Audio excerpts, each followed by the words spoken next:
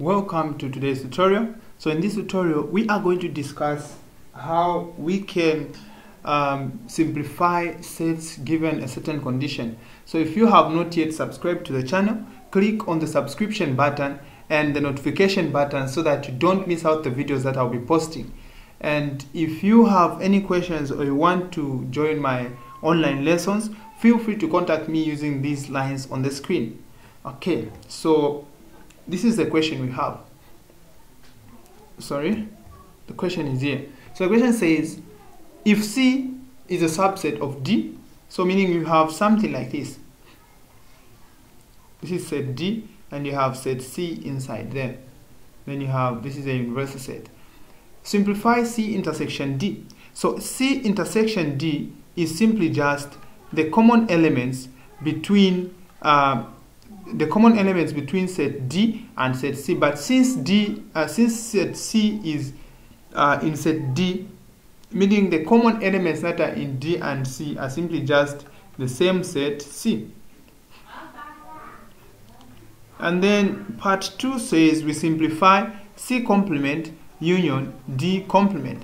By using De Morgan's theorem, we can uh, simplify this as C intersection D complement. So C intersection D, we found it to be C. So this is just the same as C complement. We move on to part 3. So part 3 of this question is simply asking us to, um, to simplify C union D complement.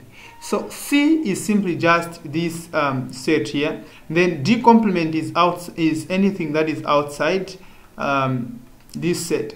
So if you look at this and you find and to find the simplest version you can write this.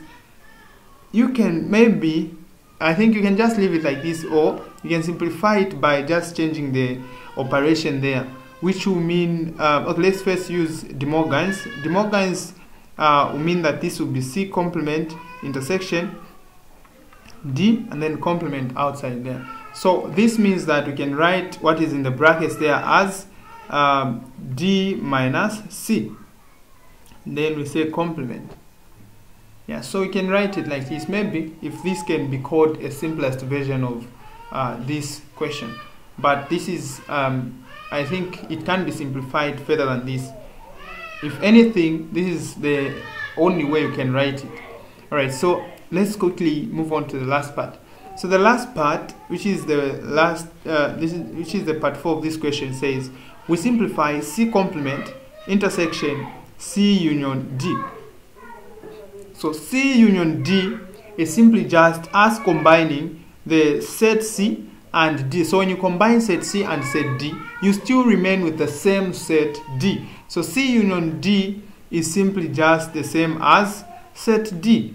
And C complement intersection D is simply just the same as uh, D minus C.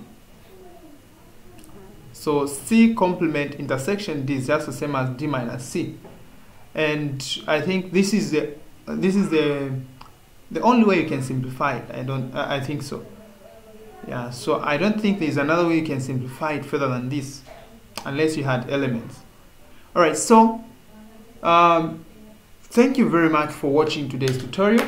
Let's um, meet in the next tutorial video and if you have not yet subscribed to the channel make sure that you click on the subscription button which is right below the video and the notification button so that you don't miss out the videos that I'm going to be posting. So if you have any questions feel free to contact me using these lines on the screen.